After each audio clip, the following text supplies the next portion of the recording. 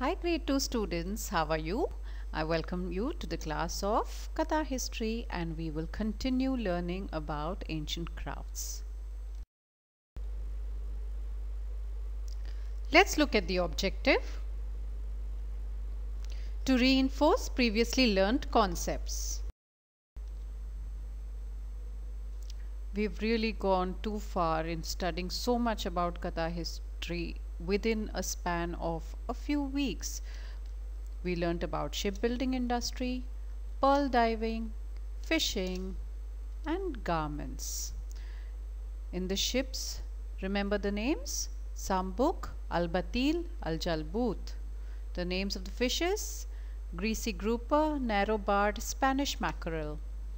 The manufacturer of the ship? Al-Kalaf.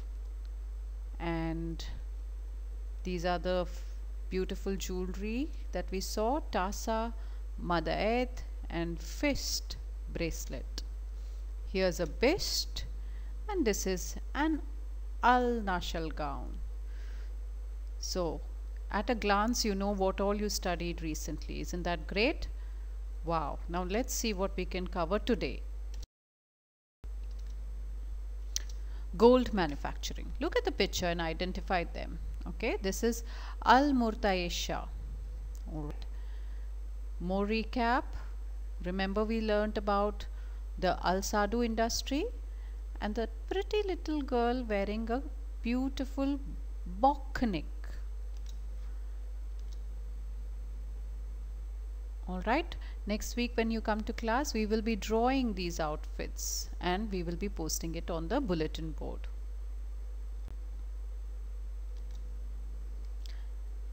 Now let's practice.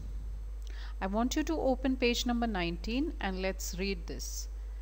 Fill in the following blanks with the suitable words in brackets. Okay, so they've given you a word bank.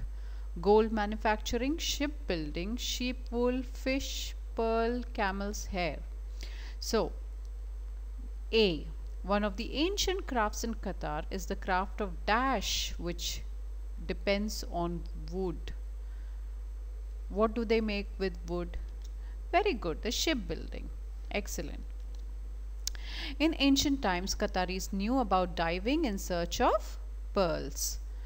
Now the last one, Al-Sadu is a simple craft in which structures and weavings are made from sheep wool, very good, and camel's hair. I want you to write this neatly in your books and when you come to class I will correct it.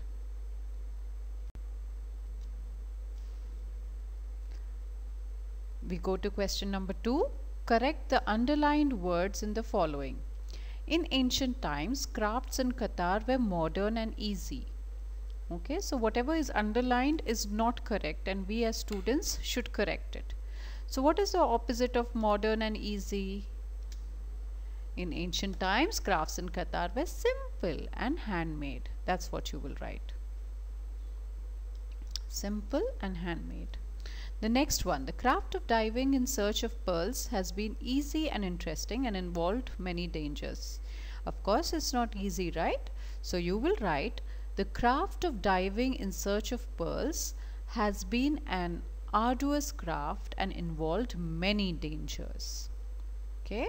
I would like you to write this neatly in your books page number 19 and then when you come to school I will correct it.